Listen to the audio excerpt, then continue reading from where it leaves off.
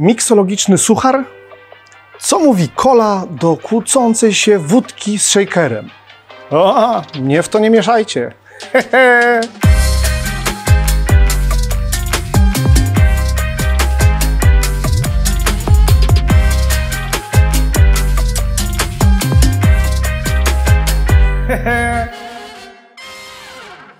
Ponowne elo, ponownie z baru Sztok Polska i to ponownie ja, wasz, nie wiem jaki łysy, nieokrzesany łysy, niespokojny łysy, który zaprasza was serdecznie na kolejny odcinek 50 sztosowych koktajli.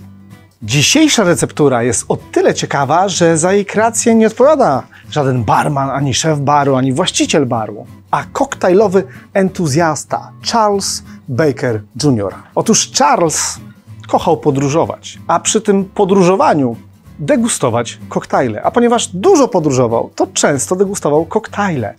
I tak te jego doświadczenia, wiecie, takiego wędrowcy, koktajlisty, zebrały się w całkiem sporej grubości dziennik, gdzie Charles dzieli się z czytelnikiem swoimi odczuciami o wojażach, ale też recepturami koktajli. Dziennik ten zatytułował The Gentleman's Companion, który wydał w 1939 roku. I właśnie w nim znajduje się receptura dzisiejszego sztosa, czyli Remember the Main. A przy okazji autor dzieli się tragikomicznymi wydarzeniami, które towarzyszyły mu przy jego pierwszej degustacji tego drinka. W ogóle warto tu wspomnieć, że ten Charles to nie był jakiś pisarz amator, tylko wzięty żurnalista. Pisał do Esquire i tym podobnych magazynów. Zresztą jednym z jego ziomków był sam Ernest Hemingway, y, notabene też koktajlowy entuzjasta. A wracając do samego koktajlu. Jest rok 1933. Charles właśnie zawitał na Kubę, a dokładnie na Hawanę.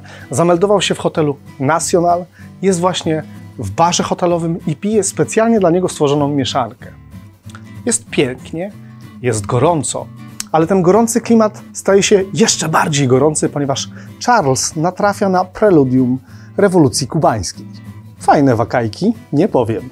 Koktajl, który pił, był połączeniem dwóch innych klasyków, Sazeraka i Manhattana, a wydarzenia, których był świadkiem, podpowiedziały mu nazwę dla tego koktajlu. Remember the Main wcale nie nawiązuje do kubańskiej rewolucji. Nie, nie. On cofa nas w czasie do 1898 roku, kiedy to hiszpańska flota zatopiła amerykański statek USS Maine. To wydarzenie rozpoczęło wojnę amerykańsko-hiszpańską, a w prasie pojawił się slogan, który stał się bardzo popularny: Remember the Maine to hell with Spain. I takie to właśnie są, moi drodzy, te sztosowe koktajle, klasyczne koktajle. Troszkę bawią, ale uczą też historii. Bawiąc, uczą. Kochani, teorii jest sporo, a ja jestem taki, że teorię zawsze staram się poprzeć praktyką, więc nadszedł czas, żeby zrobić Remember the Main. Podobnie jak wcześniej wspomniany Sazerac, Remember the Main również woła o tak zwaną absyntową aromatyzację. O co chodzi? Wasze niskie szkiełko uzupełnimy kruszonym lodem.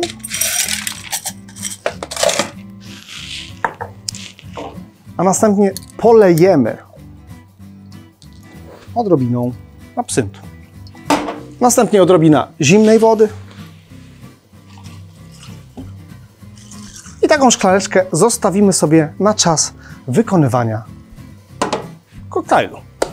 Oczywiście jest to koktajl mieszany, dlatego bierzemy naszą szklanicę barmańską i wlewamy po kolei. 30 ml bourbonu. Taką samą ilość whisky amerykańskiej żytniej. Niektórzy mówią tak dla śmiechu. Whisky ryżowej. 20 ml słodkiego czerwonego wermutu. Oraz tutaj taka ciekawostka, twist, żeby dać jeszcze więcej owocowości. Cherry brandy 15 ml.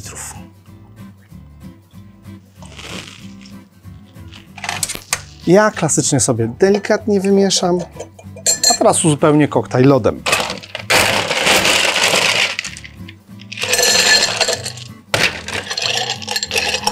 Mieszamy klasycznie 15-20 sekund.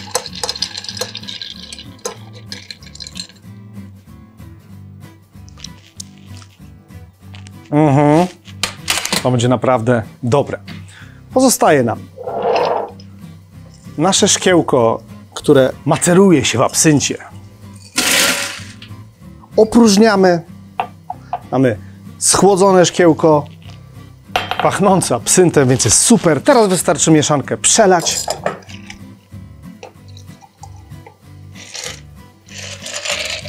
I zaaromatyzować konkretnym szczurem cytrusowym, w sensie skórką z cytryny, którą oczywiście sobie zawiniemy i będzie to nasza dekoracja. I proszę bardzo, remember the main ode mnie specjalnie dla Was. Jeszcze pokażę Wam jedną sztuczkę.